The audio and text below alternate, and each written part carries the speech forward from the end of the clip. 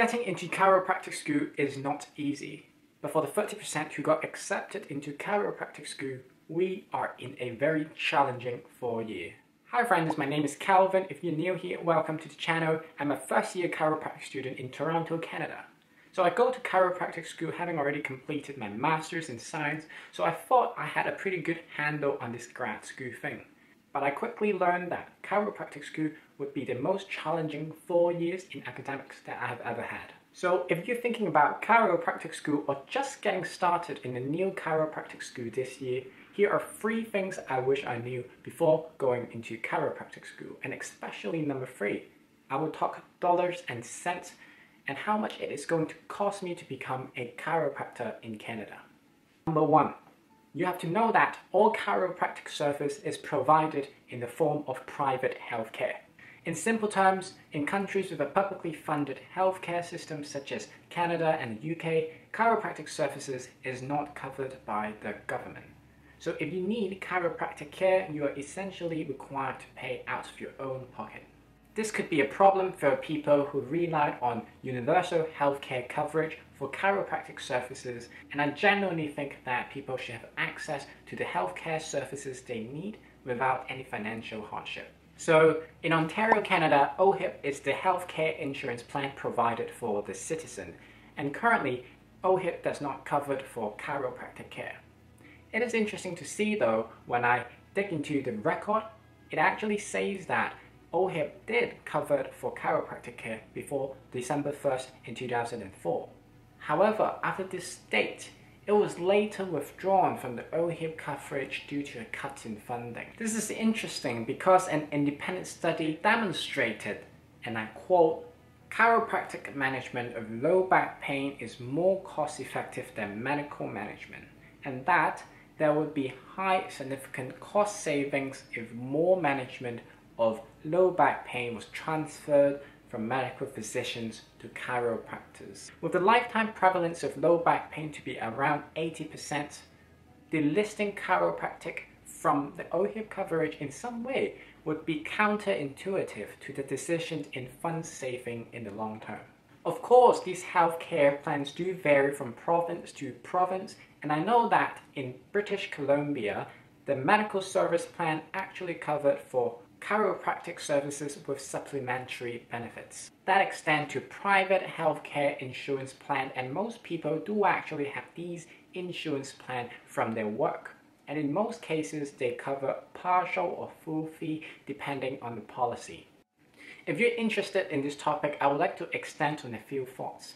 If chiropractic, on the other hand, were in the public healthcare services, do you think it is a good thing? To answer this question, I think it will be best to think from the patient's point of view. Firstly, yes, of course, you do not have to pay for the services, but if you think about the process to get to a musculoskeletal specialist nowadays, you typically have to go through different stages. And firstly, a GP initial consultation, which then an orthopedic referral, and there you realize surgical options look too scary for the patient, and therefore patient opt for a more conservative approach which then another referral and finally reaching to a chiropractor. This whole process takes a considerable amount of time in terms of traveling and waiting for the patient and in cases where musculoskeletal patient is already not very mobile, a referral back and forth may potentially delay treatment and affect recovery. In the world of ever-growing patient population and only longer waiting times, does that mean that it is better off for chiropractic to be in the private healthcare sector? Hmm, I think that is very hard to say, but I definitely think it is worth the time to consider both sides of the picture.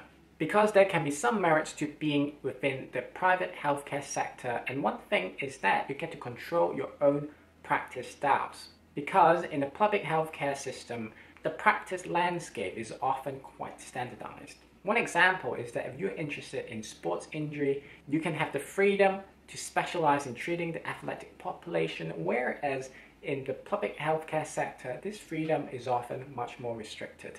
Another benefit, and that's from a patient's point of view, is that private healthcare can minimize time required for referral and waiting, and for the patients, that would mean that they have a greater chance for a timely treatment and therefore a better prognosis.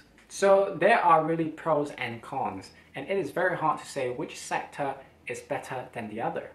But I'd like to know what you guys think about this. Leave a comment down below and tell me which healthcare sector would suit the chiropractic profession better. Secondly, the history of the chiropractic profession is complicated and it may confuse you in finding your chiropractic identity. When you first think of applying to chiropractic school, it may be harder for you to come across because you really have to dig deep into the history to understand that. In a nutshell, as the profession developed centuries ago, the fundamental values of the profession kind of broke into two schools of thought. On one side are chiropractors who seek for an evidence-based approach on the other side, some chiropractors strive to remain vitalistic ideas in their practice. The former utilizes robust scientific evidence to inform their practice, while the latter uses philosophy and historical dogma as their clinical rationale. So why is this a problem? This is a problem especially for me as a first year student as internally this divergence have manifested themselves to me as an identity struggle for how chiropractors should practice. And externally, this disparity between these groups has divided the profession and invited ridicule from both the scientific community and the public at large. As a healthcare profession, public trust is something we uphold, and these disagreements around the scope of practice, vocabularies, and ethics have really negatively affected the public opinion cultural authority, and interprofession relationships.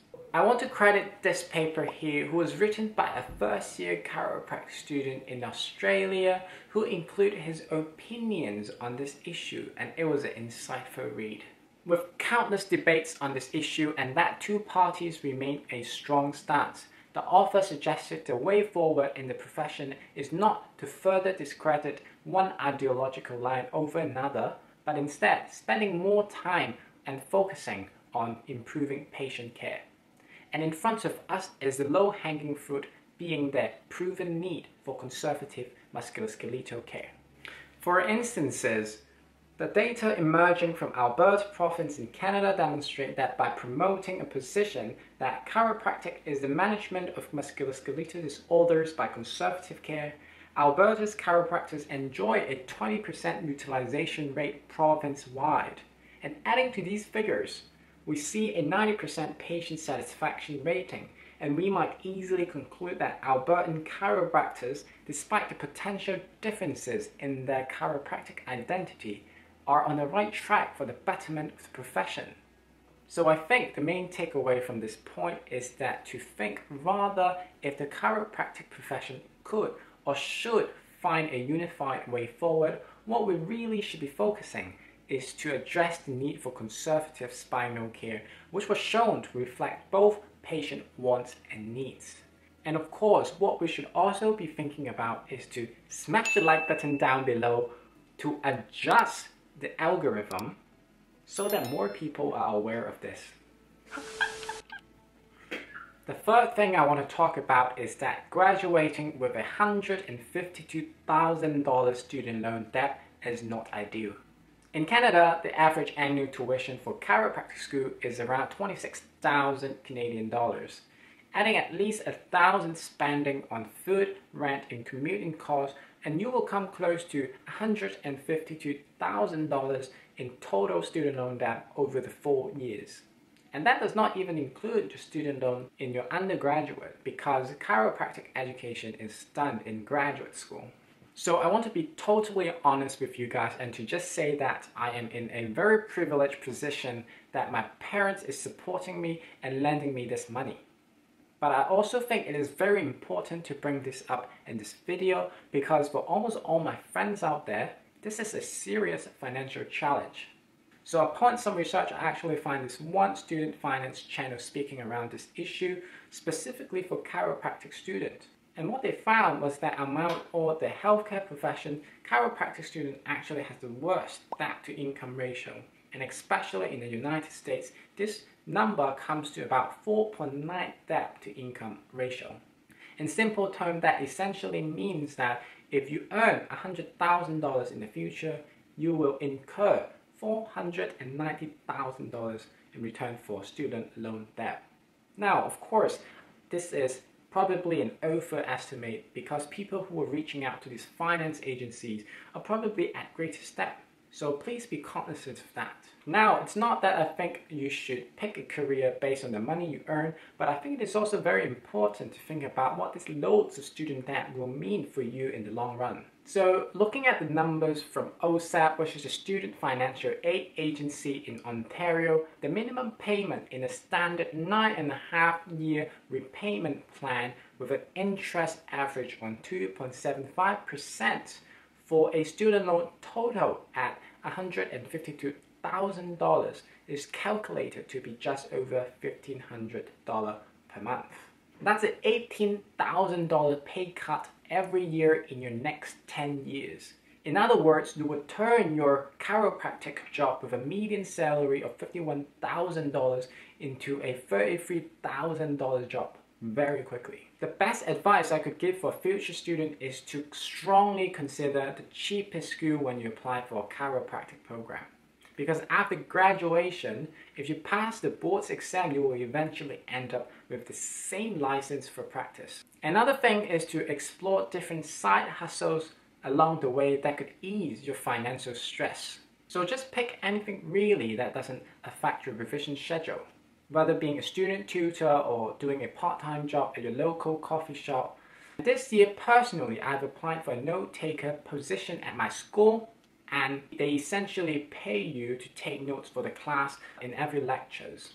And while the pay isn't really that much, as a responsible and participating student, I'm already taking notes for myself, so I'm as well getting paid. So look for opportunities like this because every penny counts. Of course, whether you want to choose a part-time job or not, the money that you spend outside of tuition will matter as well, so being wise on spending the money outside of tuition over those four years of school is also very important. You really don't want any unnecessary spending on top of your back-breaking amount of student debt you already have. So there we have it. These are the three things I wish I knew before going to chiropractic school. If you find this helpful, please give a thumbs up and subscribe to my channel. If you're applying to chiropractic school, you really want to watch through my chiropractic student life series, and I will see you in the next video.